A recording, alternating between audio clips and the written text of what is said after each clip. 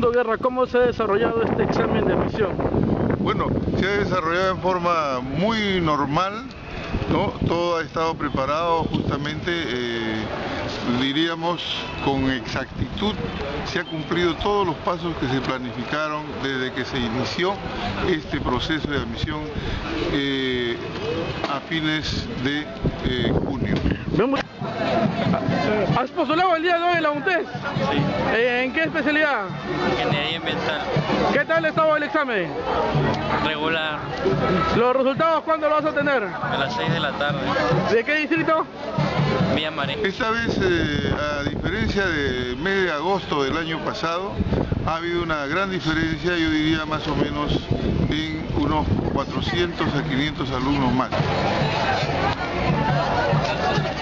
Como vemos gran cantidad de postulantes que ha habido el día, el día. ¿No ha habido a- a- algún problema? No. ¿Suplantación? No, no se ha suscitado ningún problema eh, durante todo el proceso.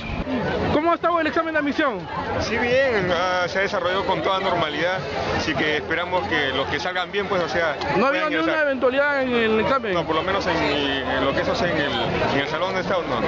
¿La carrera más solicitada cuál es? Ha sido eh, la carrera de Ingeniería Ambiental, ¿no? una carrera que recién esto se ha implementado para este ciclo, ¿no?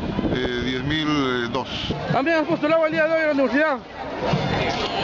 ¿En qué especialidad quieres estudiar? Administración. ¿Qué tal estaba el examen? Muy bien, más o menos. ¿De qué distrito? Villa Salgado. ¿Cuántos años, amiga? 17. Los, los resultados se dan hoy día mismo. Hoy día mismo están saliendo más o menos dentro de cuatro horas. ¿Has postulado el día de hoy? Ajá, ¿Qué tal el examen? muy bien. ¿De qué distrito? Avisador, Eh, ¿Para qué carrera quisieras estudiar? ingeniería electrónica. Muy bien, Bueno, nuevos. los ingresantes nuevos son 300, porque, como le decía, hay una carrera más. Son eh, 60 alumnos por carrera. ¿Primera vez que postulas?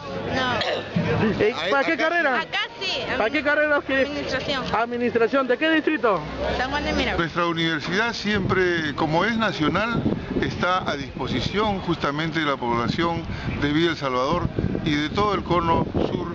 eh, nos tiene, digamos, aquí dentro de sus ambientes.